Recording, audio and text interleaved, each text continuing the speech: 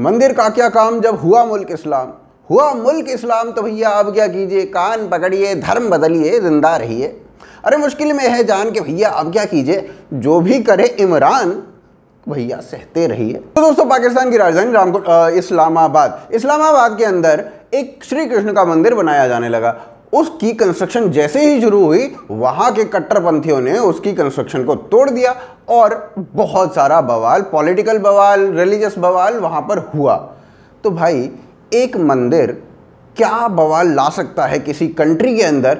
उसकी आज कहानी हम आपको सुनाते हैं और उसके साथ साथ सुनाते हैं कि भारत में उसने किस तरीके का भोकाल मचाया। आप देखते रहिए आज की ताज़ा खबर।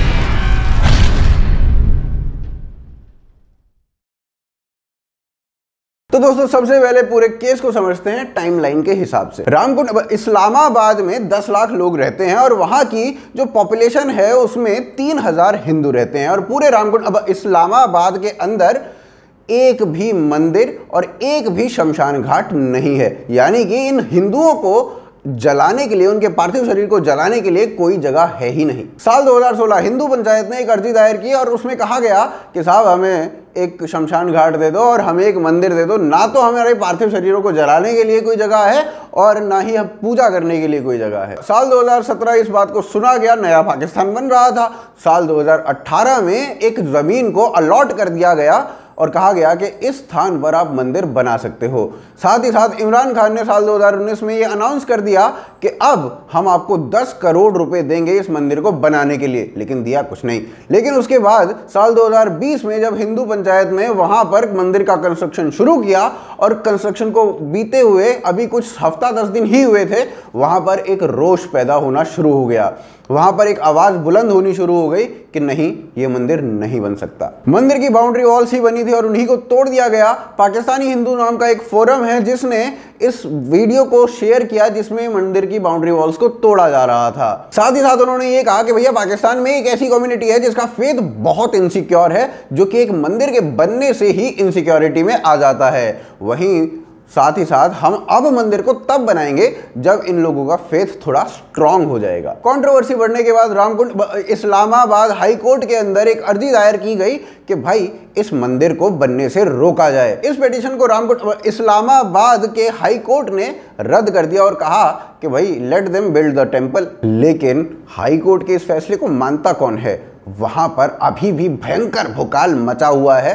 क्या तो सियासतदान और क्या ही मुस्लिम क्लरिक्स सभी लगे हुए हैं इस मंदिर को ना बनने के पीछे।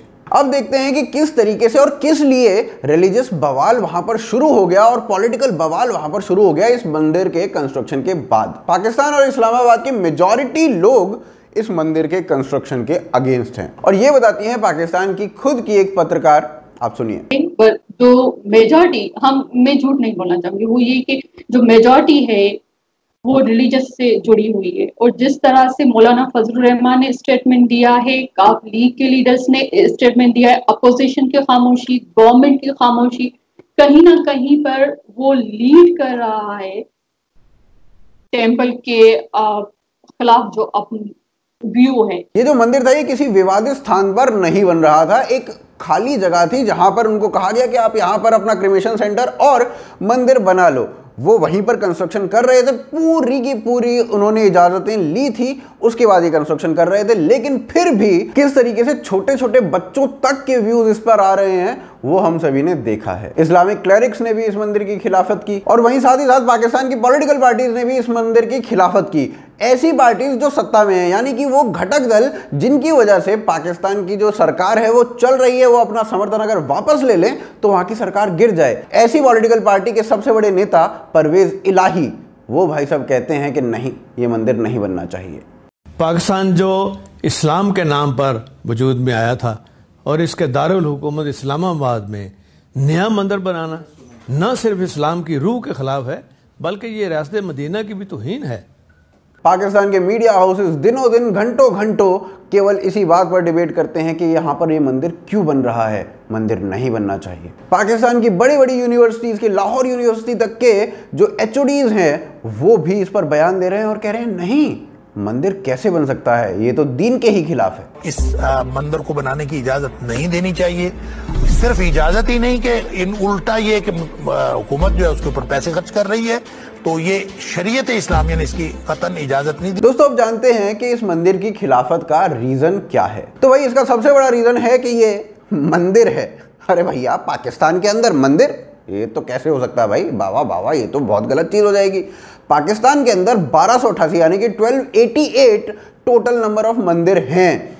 और उनमें से जो फंक्शनिंग हैं, वो केवल 31 यानी कि 31 हैं। बाकी सभी को या तो तोड़ दिया गया है, उनको टॉय शॉप बना दिया गया है, या फिर वहाँ पर रेस्टोरेंट्स बना दिए गए हैं, या फिर उनमें पूजा अर्चना करने की कोई इजाज़त नहीं है। अब इस्लामाबाद के लोगों का अपना कहना यह है कि भाई इस्लामाबाद, यानी कि इस्लाम आबाद, यहाँ पर ये इस्लामिक एक नगरी बनाई गई है, जो कि मक्का मदीना की तरह ही है तो वहाँ पर कोई मंदिर नहीं बन सकता। तो भाई ऐसे तो पाकिस्तान भी एक इस्लामिक कंट्री है तो वहाँ पर भी कोई मंदिर नहीं बन सकता, है ना? अब बात करते हैं रामकुट इस्लामाबाद के इतिहास की। तो भाई तर्क ये दिया जाता है कि रामगढ़ इस्लामाबाद जो है, वो एक इस्लामिक नगरी है और 1960 में इस नगरी को बनाया गया था और कराची से हटाकर इसको पाकिस्तान की राजधानी बना दिया गया था। मगर क्या ये जगह एग्जिस्ट भी करती थी 1960 से पहले या ये जगह थी ही नहीं? तो भाई, इस्लामाबाद पहले था रामकुंड।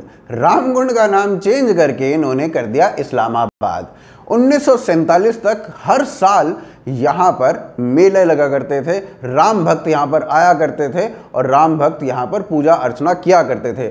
हज़ारों साल पुराना एक राम मंदिर इसी जगह पर मौजूद है, जिसमें से मूर्तियाँ पाकिस्तान की गवर्नमेंट ने हटा ली हैं, जिसको एक हेरिटेज साइट उन्होंने घोषित कर दिया है, लेकिन वहाँ पर कोई पूजा अर्चना नहीं कर सकता, ऐसे ऑर्डर्स भी उन्होंने दे दिए हैं। हिंदुओं के पास ये मंदिर है तो सही, पर ये मंदिर मंदिर ही नहीं है, क्योंकि यहाँ पर मूर्तियाँ भी नहीं हैं और यहाँ पर पूजा अर्चना करने की इजाज़त भी नहीं है। हिंदू मान्यता के हिसाब से इस मंदिर का जो महत्व है वो ये है कि भगवान राम जब अपने परिवार के साथ चौदह वर्ष के वनवास के लिए गए थे तो इस जगह पर यहाँ का जो कुंड है, वहाँ पर उन्होंने पानी किया था और इस जगह पर उन्होंने विश्राम किया था। उसके बाद इस मंदिर को बनाया गया। हर साल राम भक्त यहाँ पर आया करते थे और पूजा अर्चना किया करते थे। भगवान राम ने यहाँ पर पानी पिया था, इसीलिए इसे राम कुंड नाम दिया गया था, मगर अब ये इस्लामाबाद हो चुका है। तो यहाँ से साफ़ है कि हिंदू, सिख, क्रिश्चियंस या फिर अन्य माइनॉरिटीज की हालत पाकिस्तान के अंदर दयनीय है। हिंदुओं के पार्थिव शरीरों को जलाने के लिए कोई शमशान घाट तक नहीं है, और ऐसे में अगर भारत सी को लागू करता है तो भारत के लिब्रांडुओं को प्रॉब्लम हो जाती है। आरफा खानम शेरवानी को खुद लगता है कि पाकिस्तान में हिंदुओं और माइनॉरिटीज की जो हालत है वो बेहद खस्ता है बेहद दयनीय है। पाकिस्तान का अल्पसंख्यक समुदाय हिंदू अल्पसंख्यक समुदाय जो पहले से ही हाशिए पे पड़ा हुआ है दशकों से एक बार फिर फोकस में आ गया है। लेकिन फिर भी सीए के खिलाफ आरफा खानम शेरवानी सबसे आगे खड़ी हुई थी। हाँ अगर अब आपको ये लग रहा है कि भाई आरफा खानम शेरवानी पाकिस्तान की माइनॉरिटी पाकिस्तान के हिंदुओं के लिए आवाज़ उठा रही हैं तो भाई इन मैडम का वो वाक्य याद कीजिए जब इन्होंने कहा था कि अभी अपने आप को थोड़ा सा उदारवादी बनाओ, अभी अपनी स्ट्रैटेजी थोड़ी सी चेंज करो, जैसे ही ये काम करने लग जाए, उसके बाद अपने असली रंग पे आ जाओ। तो बस, ये वही उस रंग से पहले का चेहरा है। कि एक आम राय इसको लेकर बने कि जब तक हम वो आइडियल सोसाइटी बन पाए, जहाँ हमारी मजहबी पहचानों, हमारी मजहबी जो बिलीफ्स हैं, जो हमारे नारे हैं, उनको लेकर एक तरह की का एक्सेप्टेंस पैदा हो तब तक हम एक इंक्लूसिव प्रोटेस्ट करें। वहीं रवीश कुमार भाई साहब भी सीए के खिलाफ दिनों दिन प्रचार करते रहे सीए के खिलाफ लोगों को भड़काते रहे मगर इसका फ़ायदा क्या मिलनी तो उन्हें दोजक ही है ऐसा मैं नहीं कह रहा। वो कह रहा है जिसने दिल्ली दंगों को भड़काया जिसका नाम दिल्ली दंगों में आ रहा है जी हाँ Zakir Naik. What will happen to good non Muslims We have seen some very good-hearted journalists like Ravish Kumar, etc. What will Allah do to them if they don't die as Muslims, as they don't deserve equal punishment like other big wrongdoers? So that there are levels in Jannah, there are also levels in the hell.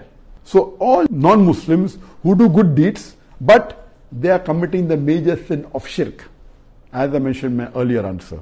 If they do the major sin of shirk, that is, the associate partners with God, then they get negative point. They will not be able to enter Jannah. Pakistan में minorities की हालत किस प्रकार से दयनीय है, वो कुछ एग्ज़ाम्पल से समझने की कोशिश करते हैं। 29 जून 2020 पाकिस्तान के बांदिन में 102 हिंदूज को पकड़ा गया।